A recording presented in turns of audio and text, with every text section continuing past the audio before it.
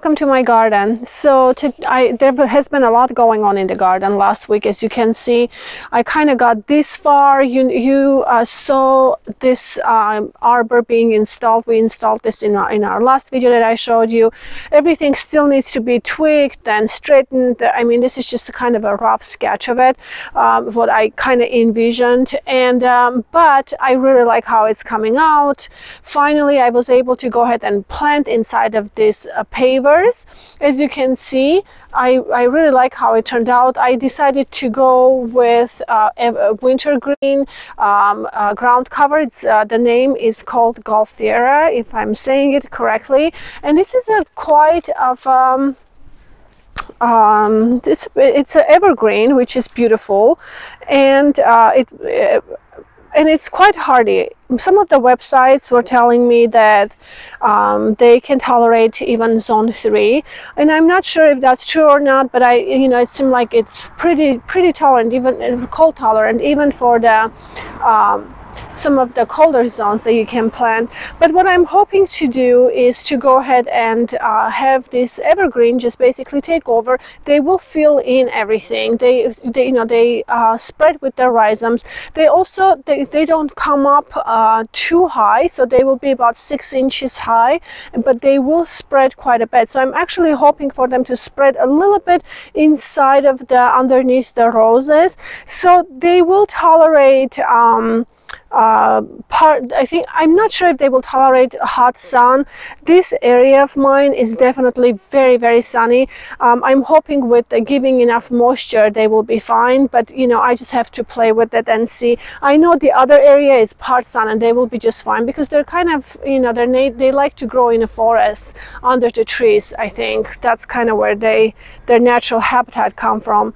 But um, uh, they do have beautiful, you know, white flowers. They flower just the small white flowers in the, in the summertime, and then in the wintertime they create these gorgeous berries. And you can see they're quite big, like some of them. Look at that size of this berry. Isn't that pretty? And I thought they're so Christmassy and so beautiful. Since Christmas time is coming up too, um, I thought this kind of would be a fun project for me to get uh, to get them all planted and I can you can see I planted some inside of these papers here as well. And then today we will go ahead and um, plant all the uh, we'll, we'll go ahead and plant all the um, uh, these containers so today we are going to fill these containers, which I'm really excited about uh, to about uh, about these containers. I think it will be really really pretty, and I can't wait. I'm ready to get something something going on here. Um, you can see uh, I'm these evergreens are looking good, but I, I'm hoping for them to drew to droop down a little bit to drip down uh, this uh, paper just a little bit longer maybe like about here if they start filling um, it would kind of bring really pretty um, uh, pretty scene here with these beautiful berries. And I just wanted to go here. This is today is a horrible horrible muddy day because we had so much rain which is really good. But you can see here I have uh, planted up literally the entire it's just, the sun is glaring here I'm sorry but uh, you can see it's you know I planted all the way around some of these pavers here all the way around here and all the way there. So here I have my uh, I installed this. It's kind of you know it's okay. We probably need to um, make it a little stronger but I have uh, staked, you know, stakes that are holding this down. So I planted um, Colette rose, climbing rose here, which I'm really excited to cover this. Uh, beautiful Colette. Also, I have David Austin Munstead Wood uh, shrub roses on each corner right here. So I think this area will be really pretty. And then I will divide this probably to keep it for the roses. And this area, I, you know, I will go ahead and um, probably I don't know, install maybe pavers or something like that to make a nice sitting place where will, you know all the rain will drain down. And up here you can see George has already got quite far with the pergola project too. I'm really excited about this. It's looking really really good. This poor rose is so ready to go up uh, to be trained. So I have to get this at least. I think he has a few more things to do here for me and then I will be ready to bring this one up. This is a Lady Banks rose, beautiful, beautiful in spring. It's it flowers only once in the spring, but it brings such a beautiful show. Oh, it's absolutely gorgeous. It's not looking great right now, unfortunately, because it's falling down, but it will not be very long for me to train this up. So I'll just bring it maybe like this for now to hold like that for now, hopefully. But this is a very vigorous rose. It will go quick. The minute it goes up, it will just really spread quickly. So anyway, I'm really excited how this is all coming along. It becomes really nice, cozy sitting place here where I can sit with our friends, maybe a glass of wine in the evenings, have a you know aperitif or something like that, um, and just enjoy enjoy our time with friends. So so this is how it's coming along anyway let's go um, and I'll show you oh it's so muddy here. Completely in the mud. Um, so these are the winter berries. So we had this uh, in actually little where where I purchased them. Uh, I purchased them in a really good price. It was oh, about five euro. And what I did is I took this one and I divided them into three or four uh, sections, and that's how I uh, completely uh, completed this entire paver planting area. This one, I'm not sure exactly what I'm going to do here, thinking to probably uh, bring one more of those containers here. I'm not exactly sure. So I'm kind of leaving that alone for the moment until I can, I'll decide what, what's going to play out on that side.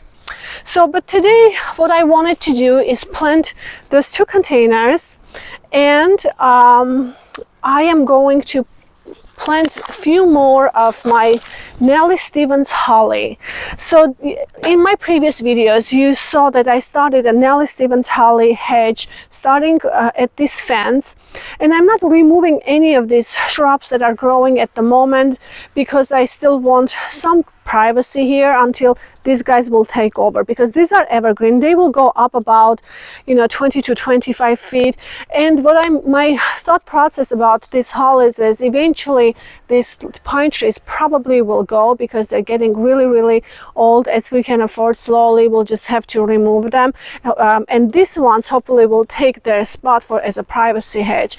Now um, Stevens, uh, uh, Nellie Stevens holly.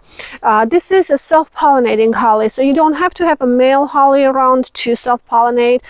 But if you want abundance of berries, which is beautiful, you should plant um, male holly around. And so uh, my research said that yes, you don't have to because it will still produce beautiful holly. But if you want abundance, you have to plant another male variety. So what I decided to do is go ahead and purchase two male holly. This is a blue prince holly and you can see it has a beautiful purple new foliage when it starts shooting out on the stems. Very pretty a dark green color.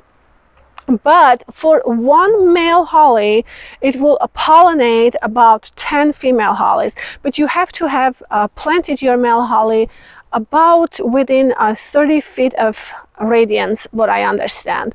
And so I think I'm going to plant two because I know I'm going to have more than 10 and so um, because I really want abundance of berries on my Steve, um, Stevens holly.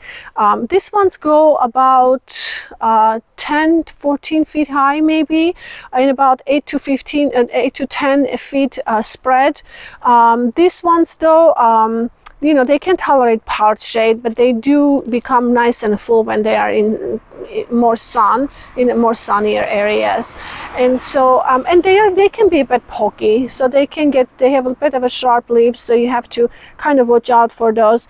But um, for me I think I have to trade that with having gorgeous berries on them and have a nice evergreen hedge so I think I'll be okay with that. Just make sure to trim it and clean it well. And it's going to be far so I'm not walking by it all the time to catch me you know or anything like that. So um, they should be okay. So that's what we are doing today.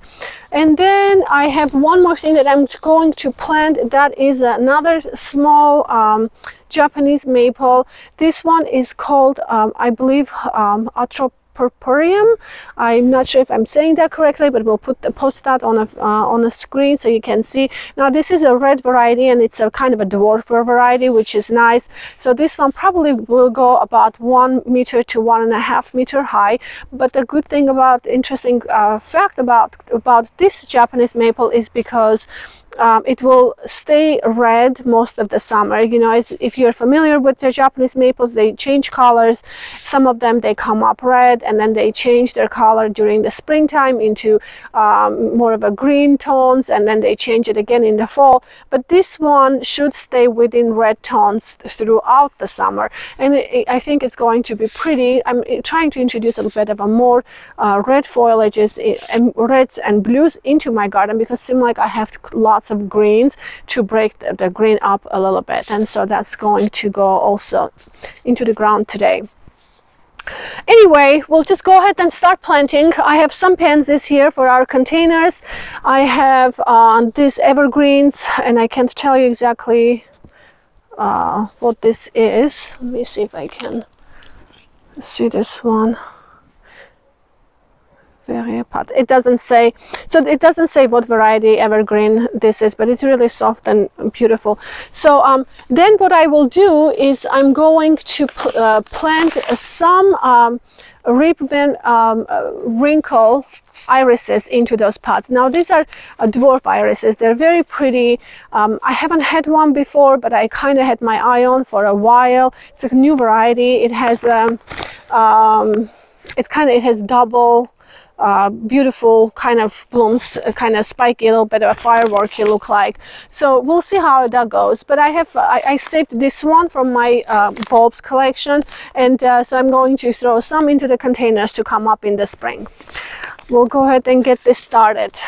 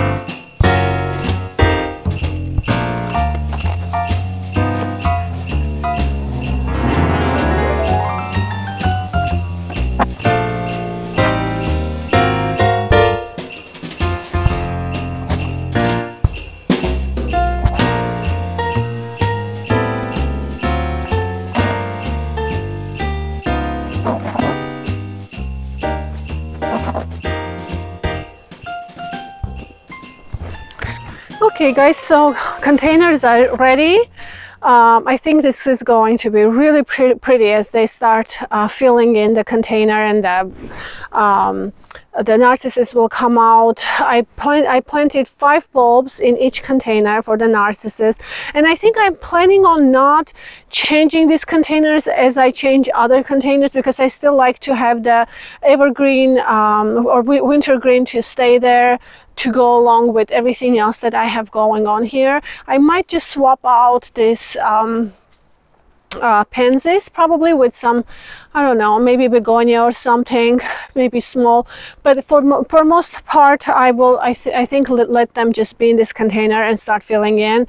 Um, the uh, conifera though probably will get big after a while. I just have to swap it but it will take a while before they get to that point. So I'll just let that because I really like how it looks. It's really really pretty right now. Um, totally love it. And I just wanted to say that I used my homemade compost um, when I was start started to pack in the roots, I start I used my home homemade compost, which is amazing. So I usually use my home, homemade compost uh, inside my containers a lot, and I really I think my uh, the containers have looked so much better ever since I started using really good compost inside there because they really need lots of nutrients more so than in the so in the ground. So that's that. Now let's just go ahead and plant this beautiful Japanese maple, and then we'll continue on with our project. I have my shovel.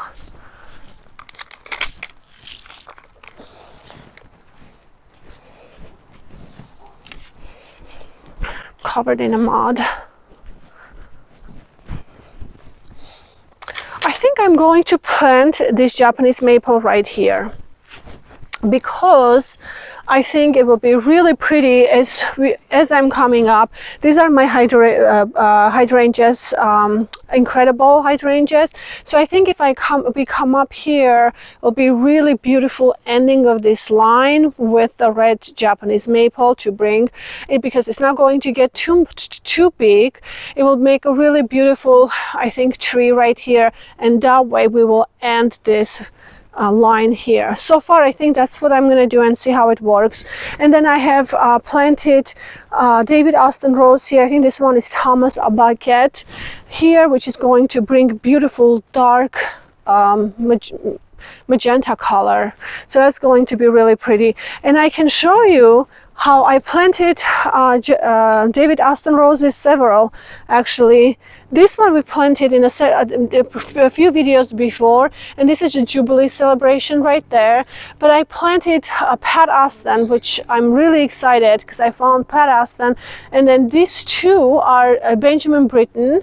And then I have another one right there, uh, which is another one of the uh, mustard wood. These are deep, mustard wood has a beautiful deep colors, and Benjamin Britten has just gorgeous uh, kind of a dark raspberry colors I think. It'll be really pretty. And I also planted several roses in the back and I will keep planting more towards the other area but I think so far it's starting to do really well. Now this bucket is going to be buried into the ground because I am going to try to make a, a water feature here with this uh, fountain that we have. So we'll see how that goes. It's a whole another project but I'm working on that so that's why it's sitting there and then on this side, um, as you can see, I planted uh, Lady, the Lady of Shalott. Very excited. Everybody just talks um, about this rose. Um, they, they, just has so many great reviews about it uh, online. So I'm really excited. But it's going to be really big and will fill in here with a beautiful color. And you can see how big that rose bush is. I, I bought them uh, bare root here in France. They ordered, uh, they shipped it to me and look at how established this rose bush is. I mean, I was so impressed with the root, rootstock and uh, how many, how mature that rose bush is. So anyway, I have a couple more that I have to still order for this season, but I'll update you as I go.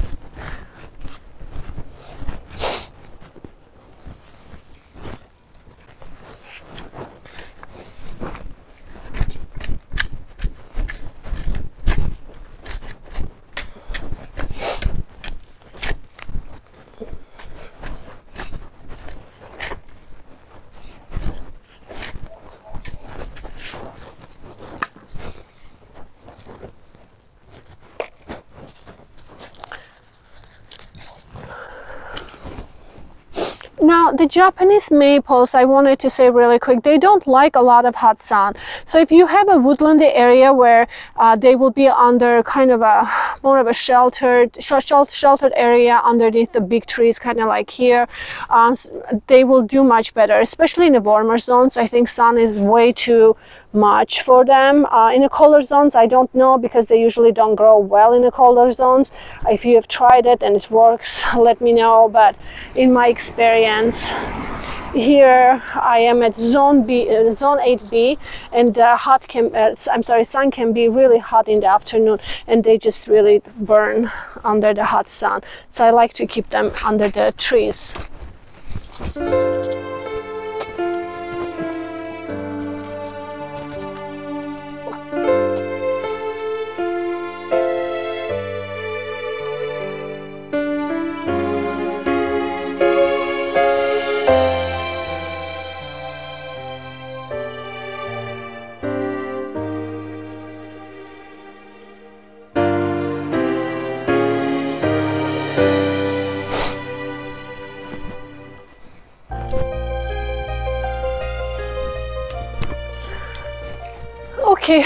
Nellie Stevens holly, I decided to give a little more space than I gave on that side, but that side I don't have anything growing, so that would be okay. Um, these ones, I think I'm going to spread a little bit more because I have a beautiful uh, fairy magnolia that's growing here, which is also going to be evergreen. It's a, it's a pink variety. It will grow and it will have nice filter here. Um, just a beautiful tree, and I kind of like to have that here. It's okay.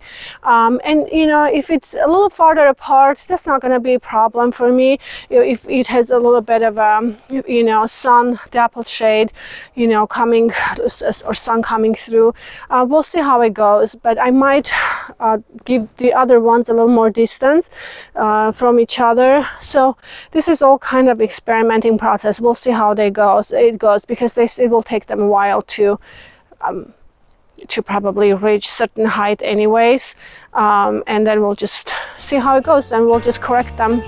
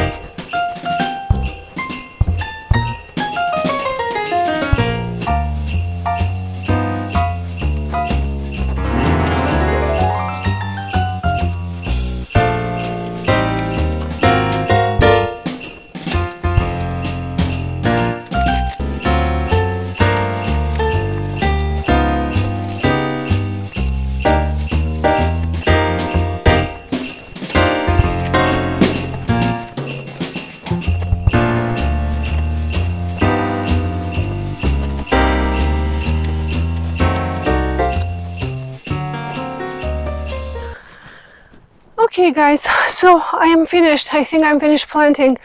Uh, we're getting really close in my hedge. I think I have maybe one sp space for one more. Uh, maybe not because I have this um, beautiful um, eucalyptus. Sorry for the car. This is a beautiful eucalyptus here that is growing. I think that I may not need to plant anything in between because I also have another uh, uh, fairy magnolia pink that's growing right there. I think this probably be enough for this area to bring privacy for the for the garden. So um, this will conclude our video. I just need to go ahead and water everything really well. Uh, although our soil is, as you can see, I'm in a mud. It's been raining a lot um, and it's really wet, but we'll just give a good water and uh, I will let them grow and see how it all comes out. I'm excited how this area is coming along. You just start little by little and you get this beautiful garden. So it's very exciting. Um, anyway, thank you so much uh, and have a wonderful week, wonderful day today. I will see you in my next video. Please don't forget to subscribe to my videos. Um, and uh, thank you for helping me to create and work in the garden. Uh, thanks to all the subscribers and have a great holiday season. Bye-bye.